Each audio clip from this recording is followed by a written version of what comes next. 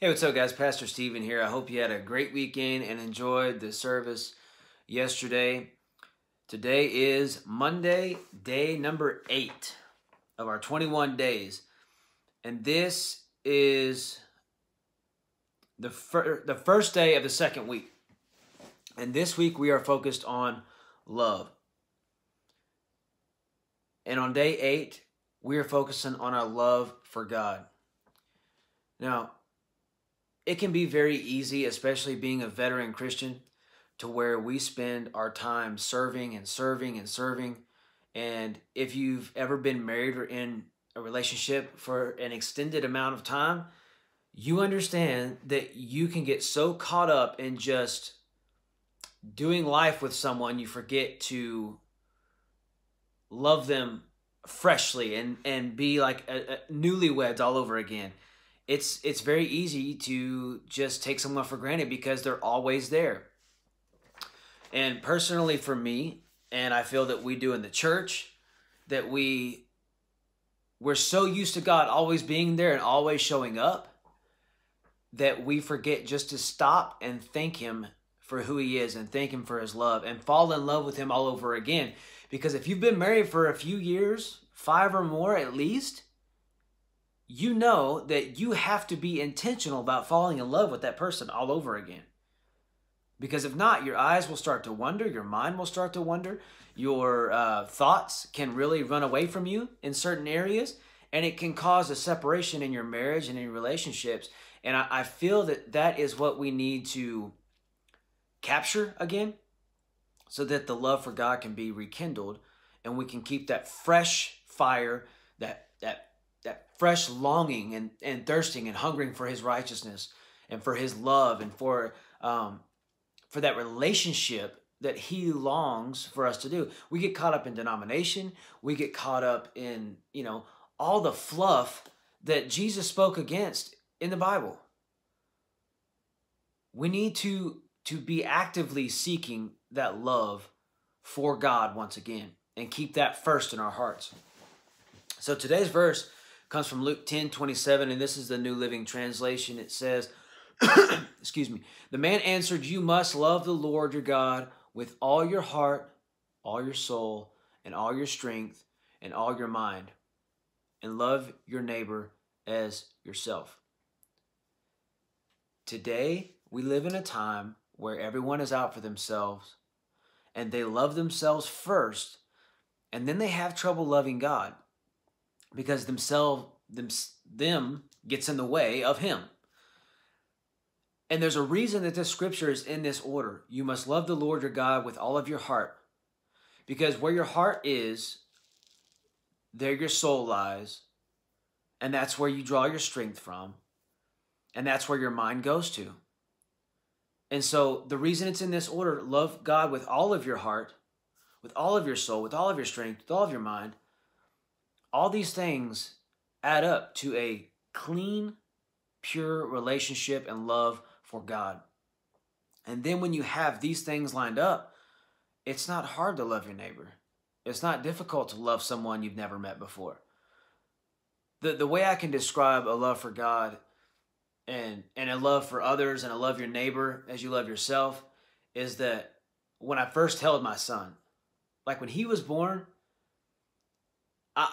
my dad tried to describe it to me. Other people tried to, to tell me kind of what it was going to be like and what to expect.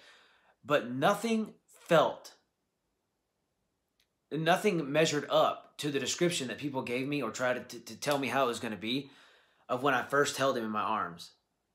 You know, I teared up and I was a, I was a big baby and it was it was something that I never I never thought that I would I would feel this measure of love to someone I had never met before. And so that if you've ever had a child, try to grasp that for your neighbor.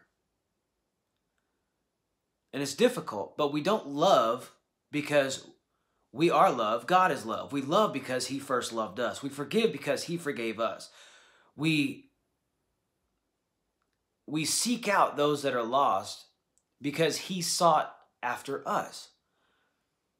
And we when we get our heart right, when we get our soul right, when we get our strength on point, when we get our mind corrected, then it's not hard to love the neighbor that this verse tells us to do.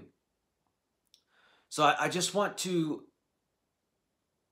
remind you to be active in your love and seeking God with that new fresh love. Because if you've ever come to know the Lord in that first, you know, months or years and stuff, you're like, yeah, let's go save the world. And I feel that in our church, we have got so comfortable with that love of God that we take him for granted and we're not actively seeking God and and and seeking to love him like we used to because he's always around, he always comes to the rescue, and we end up taking the love that God has for us for granted. And I'm guilty of this too. This is not a 21 day of people telling you how to do better. This is a 21 day of people in our church being real and sharing with you that we are all sinners. We all are saved by grace. We all have the same love of God available for us, that there is none above the other. Not at the top of our church, with the lead pastor, all the way down to just somebody who comes that doesn't know God. All of us are on the same level in God's eye. He has all of this love available for all of us.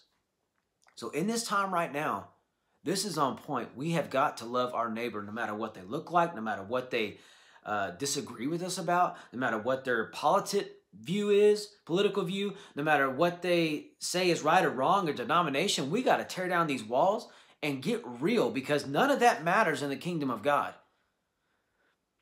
So, if you will pray with me that we can reconnect with God again, that we can find our love again that will that will just come bursting out of us onto the people that we don't know. The unlovable. That's who Jesus went after. He, he would eat with the liars and the cheaters. And he loved them because that's why he was here. That's why he came. This same purpose needs to be our purpose to show the love of God. And we can only do that when we love Him with all of our heart. Then we can love those that He told us to love. It doesn't become a challenge anymore, it becomes an enjoyment, it becomes fulfillment because we know that we're undeserving of it, but yet He gives it. He knew yesterday what we were going to mess up on today, and He still loves us every day. His mercy and His grace are new. So let's show the mercy and grace to those who don't believe like we believe, who don't look at things the way we look at things. They're the people we should be loving the hardest and loving the most. We should not be letting that that uh, right now is such a political climate. We should not be letting the politics divide us, but let it drive us to love them even harder to show that not everyone who says they love God is the same and that we can show that love and it will it will shed away all the junk that is trying to keep putting up walls between us.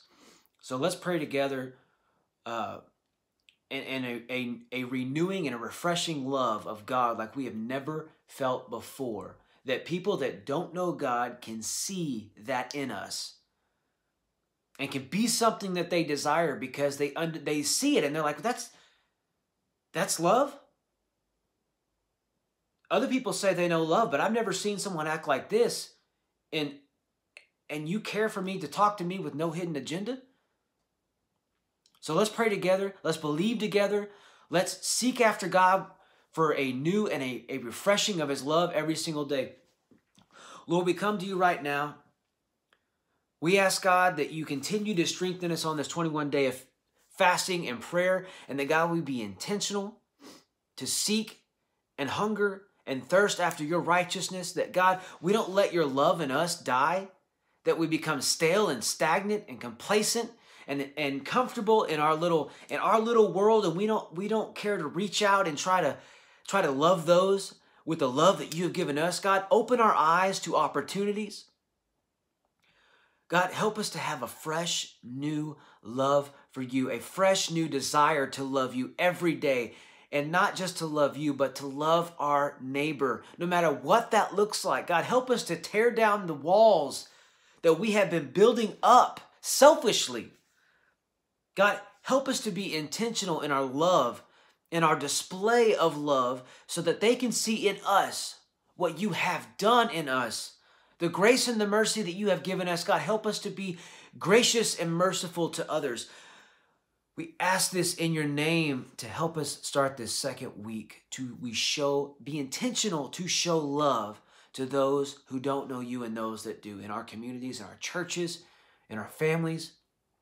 God, help us to love them like you have loved us and help us to chase after you like we have never chased after you before with a love that is intentional, with a desire that is pure God, help us in, the ne- in these next two weeks as we seek and pray for our church, our community, and our world. In your name we pray. Amen. Don't forget, every night at 7 o'clock, we're going live on YouTube and we're going live on Facebook. Make sure if you want, if you have questions about what we're fasting, how you can fast, the reason we fast, you can go to connect-church.com forward slash 21 days, and that will bring up the different choices of fasting. It will bring up, you'll have this in front of you. You can save it and click to, uh, to have it on your phone so you can look and have a reference of what day is coming up. And we thank you for joining us tonight, and we'll see you tomorrow night.